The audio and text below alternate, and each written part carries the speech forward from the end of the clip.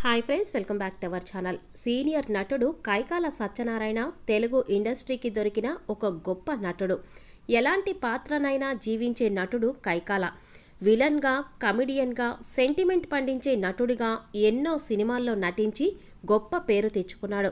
తెలుగుతో పాటు హిందీ కన్నడ తమిళ చిత్రాల్లో నటించి మంచి గుర్తింపును తెచ్చుకున్నారు. తన కెరీర్ స్టార్టింగ్లో సీనియర్ ఎన్టీఆర్కి డూప్గా చేసిన కైకాల ఆ తర్వాత విలన్గా కమిడియన్గా ఆకట్టుకున్నారు. ఎన్టీఆర్ ద్విపాత్రాభినయం త్రిపాత్రాభినయం చేసిన చాలా మూవీస్లో సత్యనారాయణ ఆయనకు డూప్గా యాక్ట్ చేసేవారు.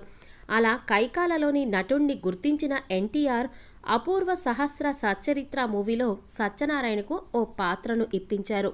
ఆ తర్వాత విలన్గా ఫాదర్ అంకుల్ క్యారెక్టర్స్తో టాలీవుడ్లో తనకు తిరుగులేదు అనిపించుకున్నారు. దాదాపు ఏడు వందల యాభైకి పైగా సినిమాల్లో నటించిన కైకాల ప్రస్తుతం ఆరోగ్య రీత్యా సినిమాలకు దూరంగా ఉన్నారు.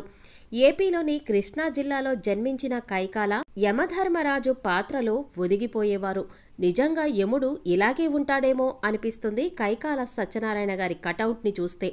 కాగా శ్రీకృష్ణార్జున యుద్ధంలో కర్ణుడిగా లవకుశలో భరతుడిగా నర్తనశాలలో దుశ్శాసునుడిగా శ్రీకృష్ణ పాండవీయం మూవీలో ఘటోద్గజుడిగా యమలీల చిత్రంలో యముడిగా విభిన్న పౌరాణిక పాత్రల్లో నటించి తెలుగు ప్రేక్షకులకు బాగా దగ్గరయ్యారు.